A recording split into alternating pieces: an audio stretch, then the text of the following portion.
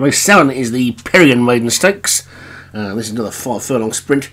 This is for the three year olds this time though. And at the top we've got Gazamali West for CDJ Liggett. Likely Spirit for John Morgan. Shakespearean Paul Rhodes. So Fair for Steve C. Dolly Dial Lightning for Rod McClure. Gifoin Voix for Daniel French. Nashmont for Alex Cherry. Pushin Burst for Vinnie Gerard. And Royal Carriage for Obi-Wan. So just nine this time.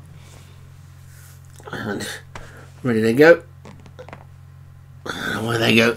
Uh, pretty level break, although Nashmon might have been a step or two slower than the rest of them. They sort themselves out through the first furlong or so, and Shakespearean is looking to take the lead. The orange jacket right over on the far side of Dolly Dial Lightning, that one's also going well. Also, Say Fair is up there as well, with down on this near side, Lightly Spirit. There's almost 6, 7, 8 in a line at the moment, with uh, Gifwan Foire and Pushin Burst and Nashmon, the only three who really look out of it. Like Pushin Burst, if it's got a burst like those other Pushins earlier on, will get there at the business end. There's two furlongs still to go, and Lightly Spirit is in the lead from Dollydale Lightning and Say Fair Rider on the far side. Then Gaz Marley West Royal Carriage Shakespearean is after that one, but it's, it's Lightly Spirit who's clear by two as they race into the final furlong. Lightly Spirit's in front. Dollydale Lightning is trying to close, but not making any impression on this leader. And Lightly Spirit looks like he's going to take it pretty comfortably as they race up towards the line. It's going to be Lightly Spirit that takes it from Shakespearean Royal Carriage Dollydale Lightning, Gazamar West after that one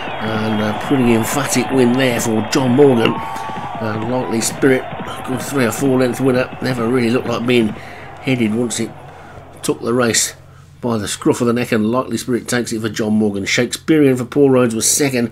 Royal Carriage for Obi Wan was third. Dolly Deal Lightning for Rod McClure was fourth, and Gazamali West for CDJ Liggett was fifth. Uh, that's the first seven races at Ascot, then done on day one of week one. I'm going to hand you over to Leon. Now he's going to take you through the rest of the opening day's races.